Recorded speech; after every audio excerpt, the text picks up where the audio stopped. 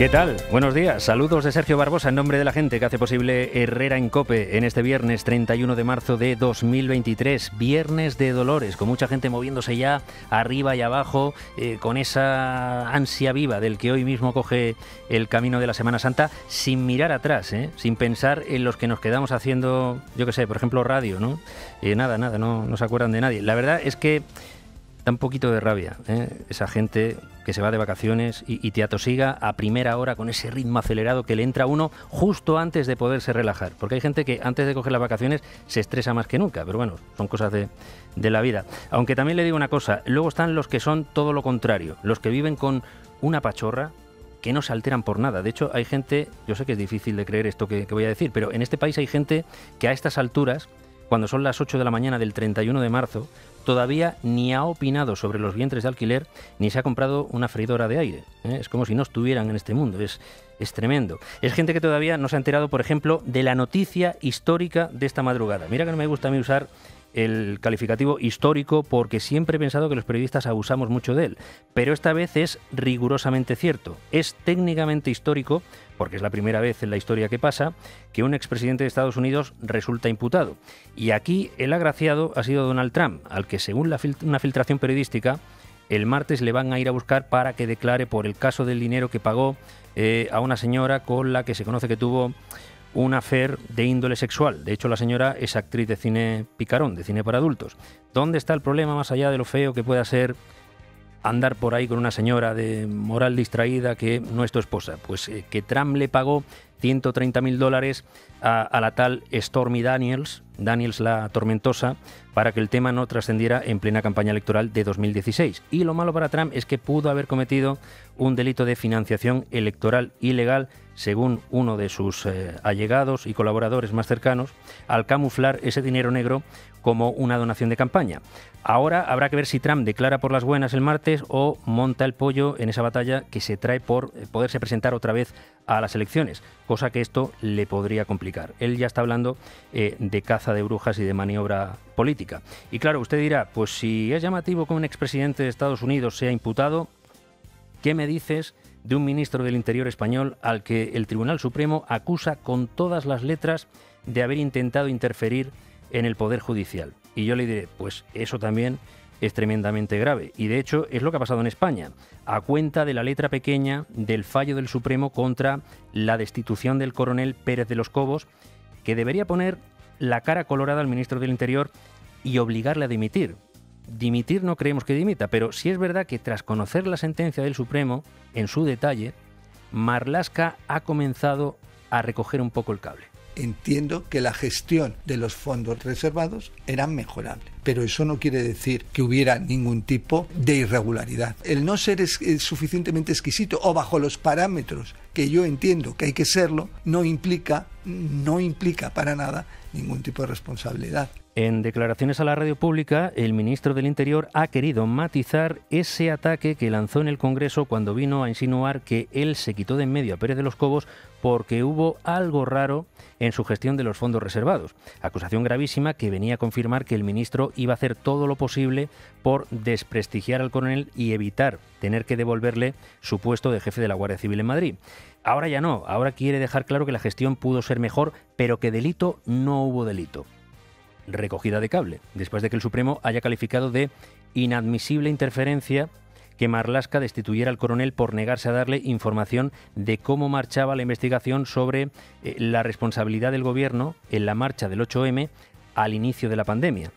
Pérez de los Cobos le dijo a Marlasca que no le podía dar al investigado, es decir, al gobierno, información privilegiada sobre por dónde le podían venir los palos al propio investigado, y Marlasca cogió y lo echó de jefe de la Guardia Civil en Madrid, alegando pérdida de confianza. Pues ahora dice el Supremo que lo de la pérdida de confianza es un argumento muy difuso y que Marlasca no puede esconderse en expresiones opacas y estandarizadas sino mojarse y dar la razón detallada de por qué ha perdido la confianza, tratándose además no de un político, sino de un funcionario en la escala de mando de un cuerpo como la Guardia Civil. Además, el Supremo recuerda que el coronel estaba a las órdenes de la jueza que llevaba la investigación del caso 8M, que le había ordenado absoluta reserva y que solo le informase a ella. Ya les digo, eh, tú coges la sentencia del Supremo y lo normal sería que Marlasca dimitiera en un país normal. Y miren, eh, también en clave judicial, ojo a lo último del mundo indepe. Resulta que a la expresidenta del Parlamento de Cataluña, la muy separatista y sectaria Laura Borràs, ha sido condenada por un delito de falsedad documental y otro de prevaricación de cuatro años y medio de cárcel 13 años de inhabilitación para cargo público y una multa de 36.000 euros, cosa que a Borràs eh, le ha sentado bastante mal. Yo resisto. Yo, Yo resisto. Yo me rebelo contra la injusticia y la seguiré combatiendo. Soy una persona íntegra y no he cometido ningún delito. Mi inocencia o mi culpabilidad no puede determinarla un tribunal politizado que actúa al servicio de la unidad de España. Bueno, Farfolla Indepe. Eh, ¿Qué hizo Borràs para que le metan esos cuatro años y medio de cárcel? Pues cuando era la directora de la institución de letras catalanas, troceó ilegalmente una serie de contratos para adjudicárselos a dedo a un amigo informático. Bueno, pues llama la atención que el propio Tribunal Superior de Justicia de Cataluña, que ha dictado esa sentencia, aproveche también para proponer al gobierno un indulto parcial a Borràs para dejar la pena de cárcel en dos años y medio, de tal manera que no entre en prisión.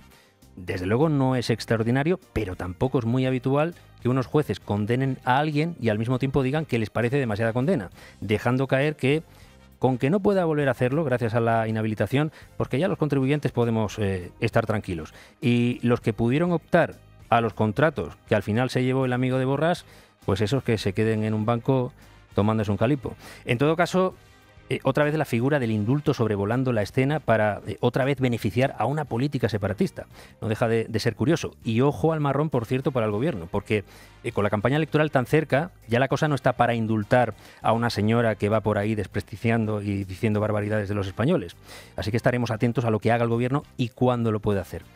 A todo esto, también tenemos muchos asuntos en el frente económico, con esa inflación que no deja de subir por más que el IPC nominal haya bajado del 6 al 3,3%. Es verdad que por lo menos parece que empezamos a entender poco a poco la trampa que supone comparar los porcentajes interanuales como tanto le gusta hacer al gobierno, para tratar de convencernos de que la cosa está mejor de lo que realmente está.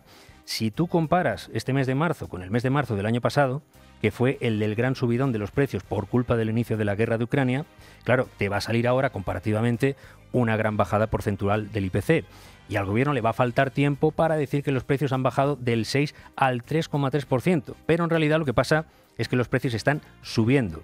A menor velocidad, pero siguen subiendo. Y lo han hecho un 0,4%, que se suma a todo lo acumulado. Y esto es importante eh, entenderlo porque el gobierno, a poco que puede, nos la quiere seguir colando. Sabemos que la inflación es un problema mundial, un problema europeo, pero España está haciendo sus deberes. Podemos estar razonablemente satisfechos con una cifra que es magnífica. Sabemos que sigue habiendo un problema con la inflación. Es un problema mundial, es un problema europeo, pero las políticas del Gobierno de España están funcionando. Para Félix Bolaños es magnífico que a estas alturas la inflación siga subiendo y que la inflación subyacente, que es la que no tiene trampa ni cartón porque es la que te dice cuánto ha subido el bote de tomate o la caja de galletas del supermercado, descontando los vaivenes de la energía y los productos frescos, esa inflación sigue en un preocupante 7,5%. Solo se ha moderado una décima desde febrero. Además eh, de todo esto, también en clave económica, tenemos la convalidación de la polémica reforma de las pensiones. Aquí no se van a poner de acuerdo. Unos dicen que es maravillosa, el gobierno dice que mm, se blinda al pensionista y se blinda al joven que será pensionista dentro de unas décadas, y la oposición, el Banco de España, la IREF y más organismos dicen que las cuentas no salen. El tiempo dará y quitará razones a unos y a otros. Y miren, eh, siendo muy relevante todo lo que hemos apuntado ya, hoy el asunto más llamativo será, a partir de las 10 de la mañana, el encuentro entre Pedro Sánchez y el presidente de China, Xi Jinping. Está Sánchez como un niño chico, con eso de que en verano será el presidente de turno de la Unión Europea, y ya lo que le faltaba eh, era ser el primer dirigente que se reúne con el presidente chino después de que el chino tuviera a su vez la importante reunión con Vladimir Putin. Eh, Sánchez ya se ha entrevistado con el primer ministro chino y a las 10 de nuestra mañana será recibido por el presidente Xi Jinping con motivo de los 50 años de las relaciones diplomáticas entre España y la República Popular de China.